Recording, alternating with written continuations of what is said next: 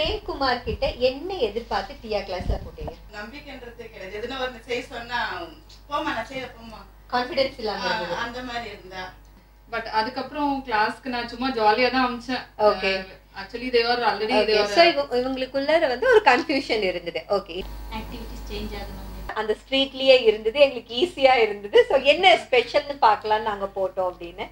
So daddy சொல்லுங்க உங்க இதுல. basically, எனக்கு uh, thinking like this is one more uh, coaching class as like uh, like uh, okay அவருக்கு வந்து ரொம்ப ஷை டைப்பா இருந்தாரு. அதெல்லாம் ஓரளவுக்கு இப்ப ஓகே முன்னெல்லாம் வந்து இப்போ அகாடமிக் இதில் பார்த்தீங்கன்னா ஸ்டடீஸில் பார்த்தீங்கன்னா ஒரு கொஸ்டினை வந்து இது ஒரு த்ரீ ஹவர்ஸ் படிப்பான்.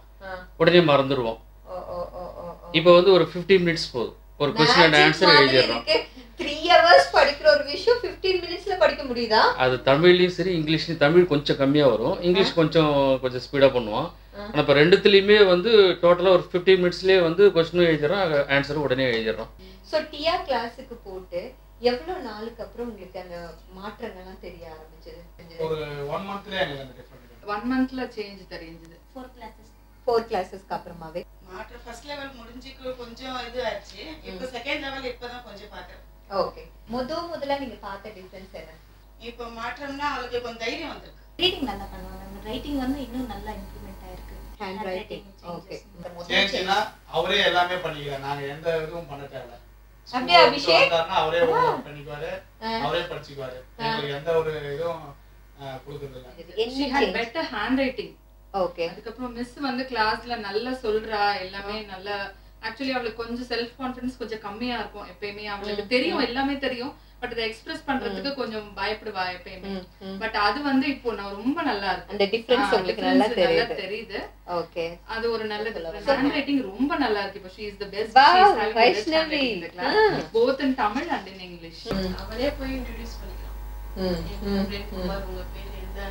அப்படின்ட்டு அவளே போய் மிங்கில் ஆகிறோம் அஹ் படிப்பு வந்து இப்பதான் கொஞ்சம் இம்ப்ரூவ் பண்றேன் பண்ணிருக்கேன் அவன் அக்கா சொன்னா அது ஏன்னா அவங்க தான் டியூஷன் இருக்கிறா அவ சொன்னா இப்ப பரவாயில்லக்கா அவளுக்கு. முன்னா மறந்துடுவாள்? இன்னைக்கு சொல்லி கொடுத்தது நாளைக்கு கேட்டா மறந்துடுவாள்? அவங்க வந்து இப்ப முன்னாடி அப்படியே மறந்துடுவா.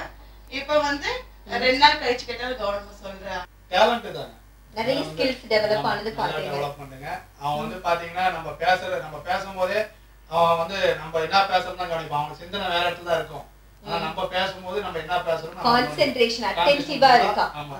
பிஹேவியர் சைடுல லத்திகா கிட்ட நீங்க பார்த்த மிகப்பெரிய மாற்றம் இது எல்லாத்துலயும் கலந்துக்கணும்னு ஒரு ஆர்வம் இருக்கு.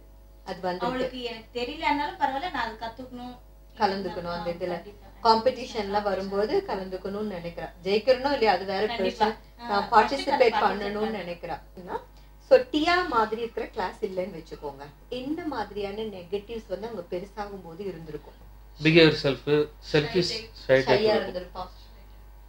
நெகட்டிவ்னா கொஞ்சம் டேலண்ட் குறைஞ்சிருங்க. இந்த அளவுக்கு டேலண்ட் இருந்திருக்காது. ம், ம். அந்த அடம் பிடிக்கிறது கண்டிப்பா விட்டுருக்க மாட்டான். அவன் அப்படியே இருந்துருவாளான்னு ஒரு பயம்.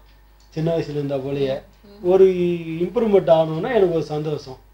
பேசிக்கலி இவளுக்கு செல்ஃப் கான்ஃபிடன்ஸ் கொஞ்சம் கம்மியா. கம்மியா இருந்திருக்கும். வைஷ்ணவி அதனால. ஷி ஹாஸ் நாலேஜ் ஆனா அதை எக்ஸ்பிரஸ் பண்றது வந்து அவளுக்கு எப்பயுமே கொஞ்சமா பயப்படுவா. எப்பயுமே சொல்றதுக்கு. அது மேபி ஹிண்டர் பண்ணா நம்மளால அப்புறம் நம்ம படிச்சும் எதுவும் வேஸ்டா போயிருந்திருக்கும். எதுவுமே அது யூஸே ஆமா, வெளியில எக்ஸ்பிரஸ் வந்திருக்கவே முடியாது. ஓகே டியா மாதிரியான வகுப்புகள் நம்ம சொசைட்டிக்கு தேவைங்களா? கண்டிப்பாக இப்போ இருக்கிற சுச்சுவேஷனுக்கு கண்டிப்பாக தேவை. ஓகே அந்த சேஞ்சஸை பேஸ் பண்ணி டியா கிளாஸ்க்கு மார்க் கொடுங்க அப்படின்னு சொன்னா ஆஸ் அ டாக்டர்ஸ் ஆகும் ப்ரொஃபஷனலி நீங்க டாக்டர்ஸாவும் இருக்கறனால எவ்வளவு மார்க் கொடுப்பீங்க? அவுட் ஆஃப் ஹண்ட்ரட்னா நீங்க டியா கிளாஸ்க்கு எவ்வளவு mark I can give hundred out of hundred கொடுக்கலாம் நைன்டி ஃபைவ் கொடுக்கலாம் எனக்கு தெரிஞ்சு ஹண்ட்ரட் பர்சன்ட் ஹண்ட்ரட் பர்சன்டேஜ் ஹாப்பியாக இருக்கு